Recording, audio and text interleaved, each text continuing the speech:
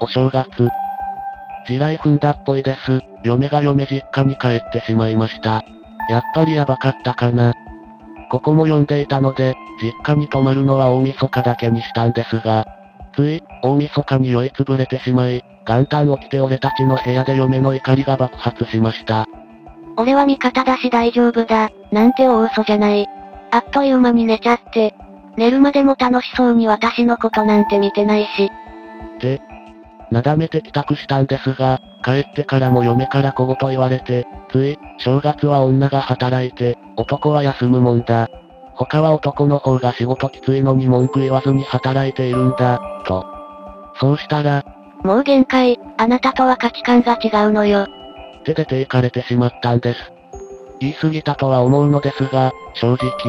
でも、実家での正月は親戚が集まり宴会があり、母親おば、嫁たちで料理を運んでもらっているのが普通なんです。それは、もちろん嫁にも言ってあるし、嫌なら帰らなくてもいいって言いました。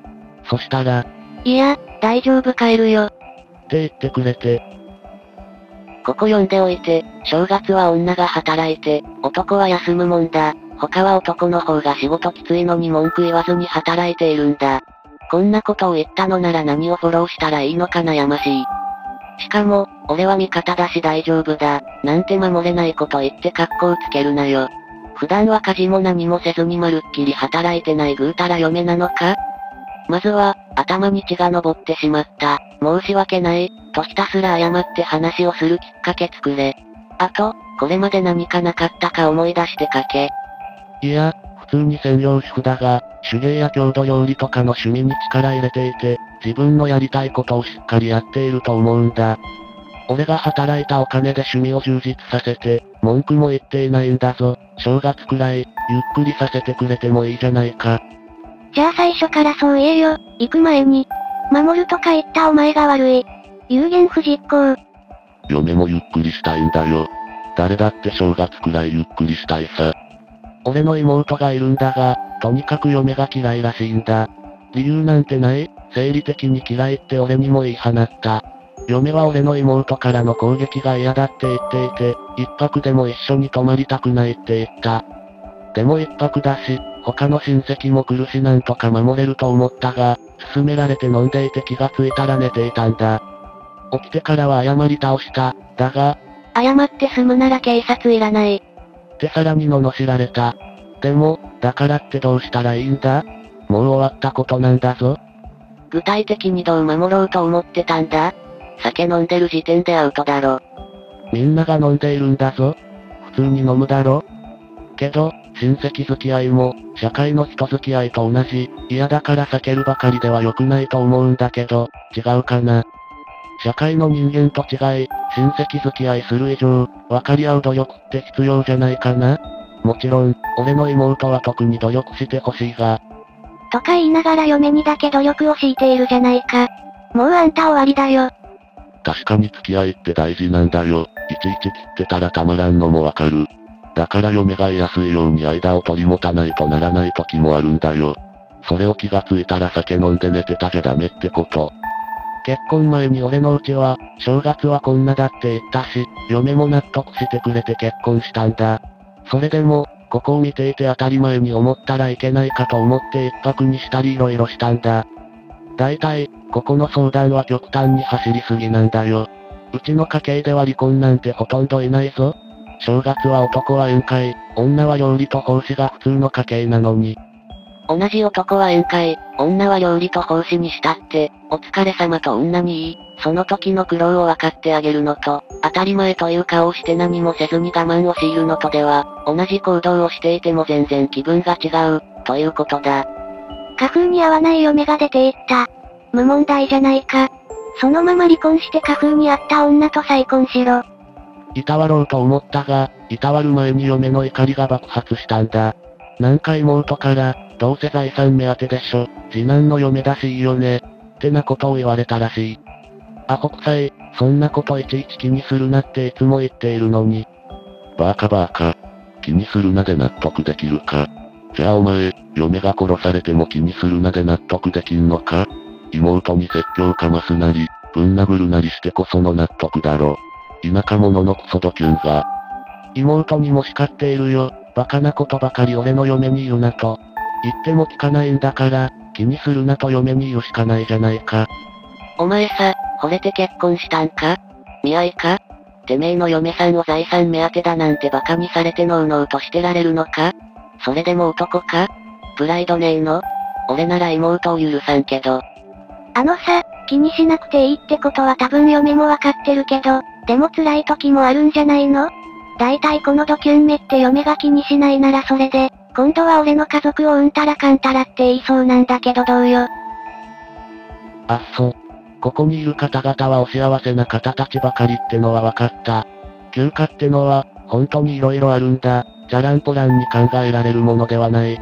確かに、味方になると言いながら酔いつぶれたのは悪かった。だが、だからといってこんな正月は嫌だって。正月はこんなだぞ。って結婚前にちゃんと言っていて、それでもいいよって言ったのは誰だよ。休暇ってどんだけ偉かったんだよ。江戸時代の職業は何ですかどんな休暇か説明したらバレるから言えない。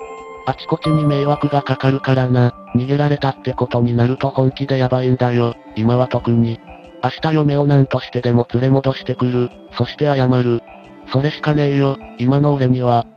何と言われようと、俺の事情はやはりわからないだろう。ここに来たことも良くなかった。迷惑かけたな。もう来ないから、許してくれ。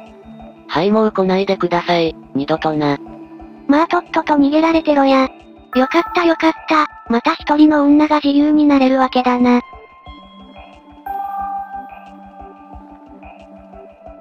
婚姻届の承認。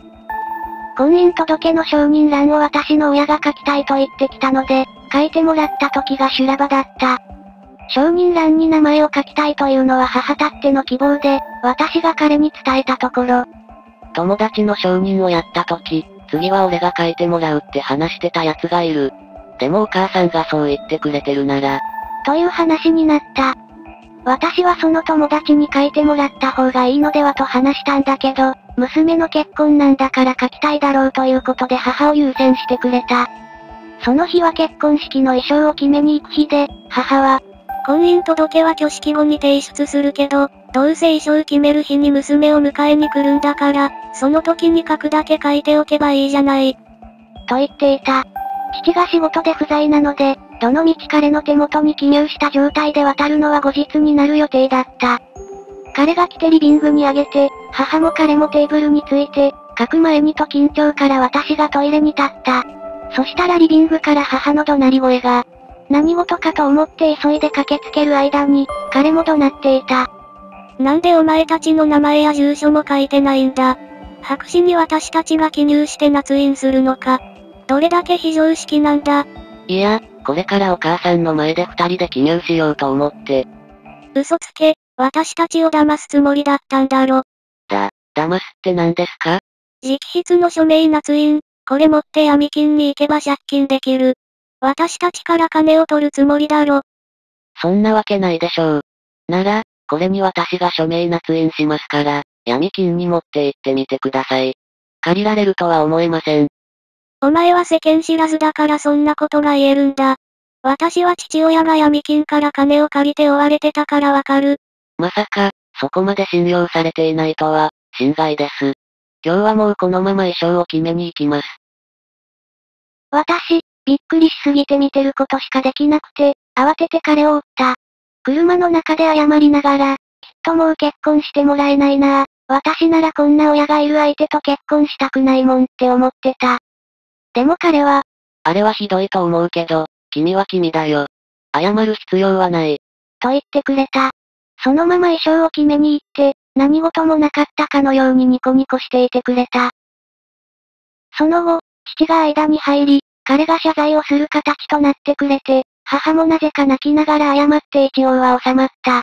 彼は謝る必要なんてないのに。あのお母さんでは形だけでも俺が悪いことにしないと、君に何をするかわからないから。と言ってくれた。その後、すぐに家を出て、しばらくしてから入籍した。今では過ぎた話だけど、あの頃はこんな修羅場がしょっちゅうあって、なのに見放さずに結婚してくれた彼には本当に感謝している。結婚してからも母の理不尽さにも彼は、君にとってたった一人の母親だから。俺はいいんだ。と言いながら付き合ってくれていたけど、最近は私が我慢ならないことがあり、親とは連絡を絶っている。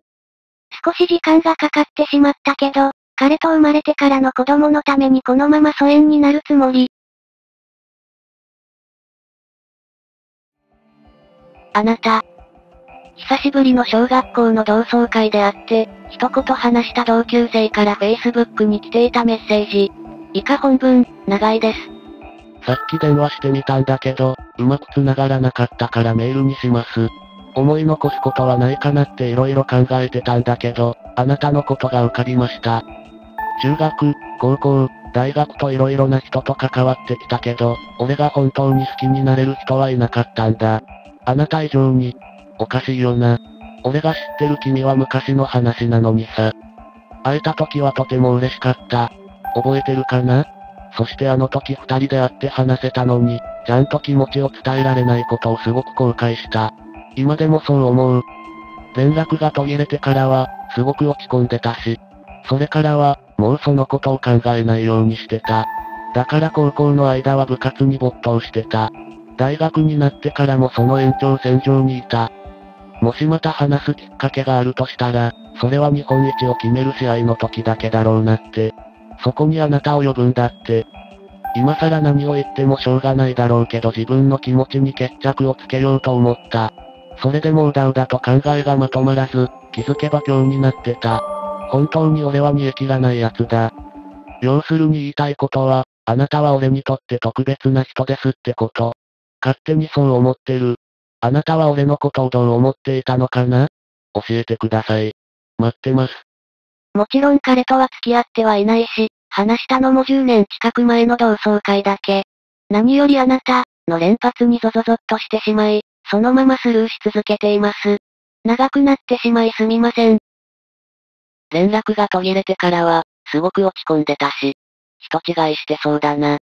おそらく、同窓会の後にミクシーのメッセージで何か来たのですが、それが連絡だと思います。ちなみにミクシーはパスワードがわからなくなってしまい、メッセージは開けませんでした。勘違いか人違いじゃなければ、妄想をこじらせたヤバい人か、似たようなメールを手当たり次第出してるような感じかな。スルーは正しいと思う。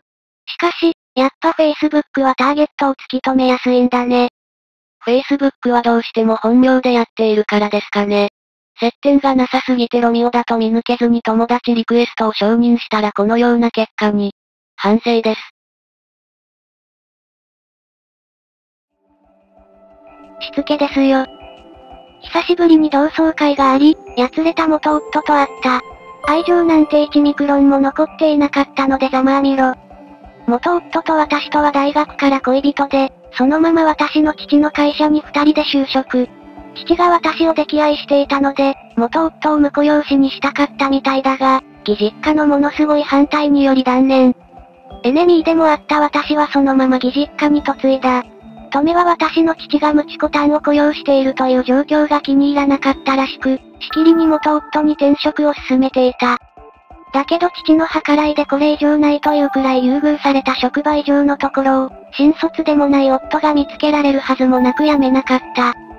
止めうとめその様子を見て怒り、ムチコタンが嫁実家にこき使われている、嫁実家のせい、嫁のせい、という脅威の三段論法で私をいびってきた。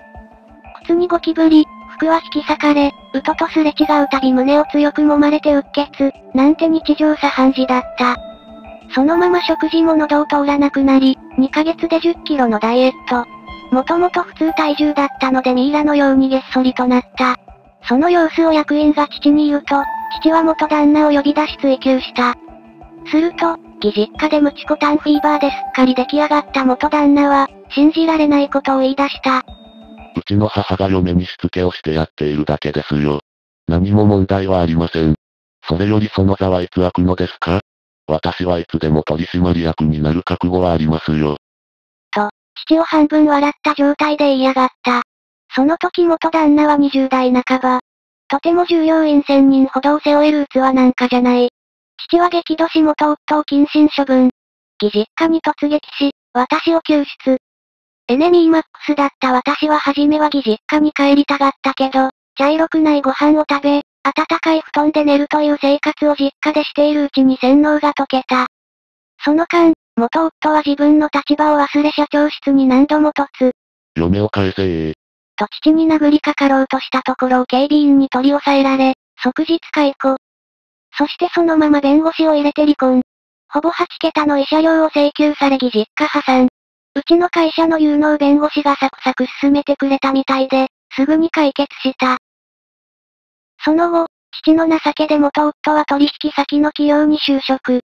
父の会社とは違った激務といじめで数ヶ月で辞め、そこからしばらく行方不明となった。そりゃ、父の会社では次期取締役になるんじゃねえの？という動機や上司に腫れ物に触るような扱いでいた元夫には、普通の会社生活は耐えられんだろうね。同窓会の友人は皆この事情を知っているから、ボロボロの元旦那を見てもスルーしていた。今現在私はいい人とご縁があり、一子妊娠中です。皆さん打文を読んでくださりありがとうございました。